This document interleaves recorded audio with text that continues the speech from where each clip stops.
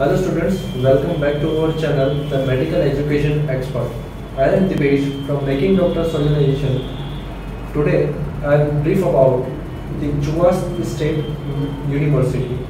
Chuvash State University is the top medical university in Russia, where the Indian students can easily apply. University is using English language for the international students. The course duration of Chuvash State University is of 6 years. Let's talk about the class. In every class, maximum there are 10 students. So it means the teachers can give personal attention to each and every student. So now let's talk about the hostels of the Chuvash State University.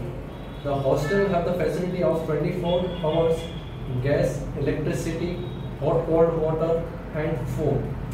And the rooms are centrally heated. Reading rooms and gym are also available in the hostel. Hostel are provided with the full of security. Okay, so let's talk apart from the studies. About the sports, in the sports, participation of each and every student is must to ensure that the students are physically fit to undertake the medical studies.